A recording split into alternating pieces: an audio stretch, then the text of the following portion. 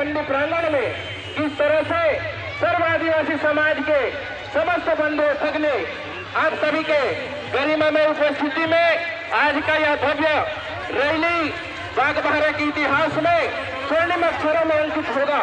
और इस स्वर्णिम अक्षरों में अंकित होने से पहले हम अपना उपस्थिति इस रैली में दें। यह समय सबसे आग्रह से आग्रह करते हुए आइए सभी आज के इस रैली में अपनी सहभागिता प्रदान करेंगे।